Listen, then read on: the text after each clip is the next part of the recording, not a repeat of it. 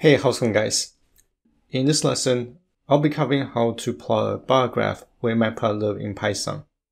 Alright, so bar graph is a visualization tool to represent a categorical data.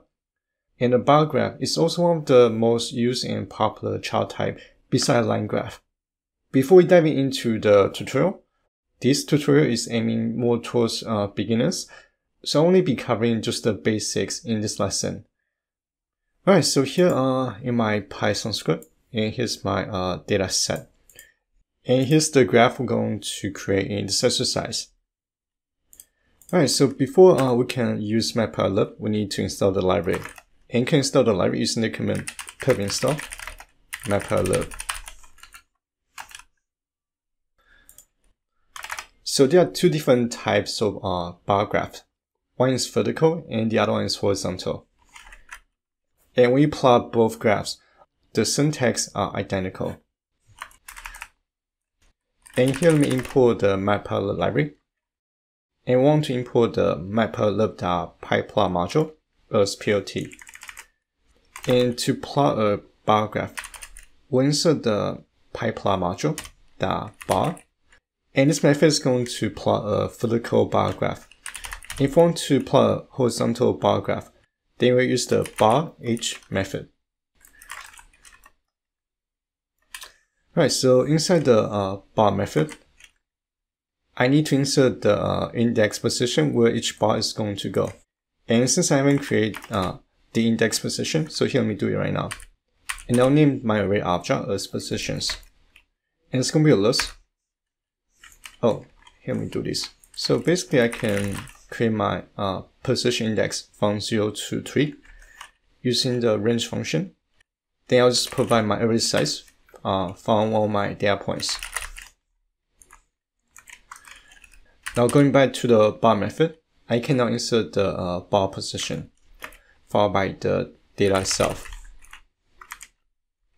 And to display the graph, we'll uh, reference the plt object that show and that'll create a regular bar graph. And there are a couple of things we can do to make the uh, presentation much better. First, we can uh, replace the axis label. So imagine that each bar represents a student. This is going to be uh, student 1, student 2, 3, and 4.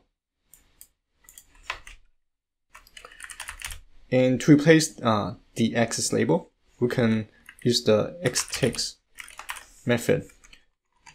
And again, we need to uh, specify which label is going to go. Then we insert the array object that contains the label. And it's going to be replace axis label. And it's going to be plot bar graph. Now, the last thing I want to do uh, to finish this lesson is I want to provide an axis title to both uh, x-axis and y-axis, as well as insert chart title. And let's insert the chart title first. We can insert chart title by uh, referencing the title method. Inside the title method, I want to name my chart my bar graph. And to insert the axis title, we'll use the X label method and the Y label method. So this is going to be students and it's going to be student heights. And if I launch the graph, and it's going to be the final outputs that I'm going to present to my viewers.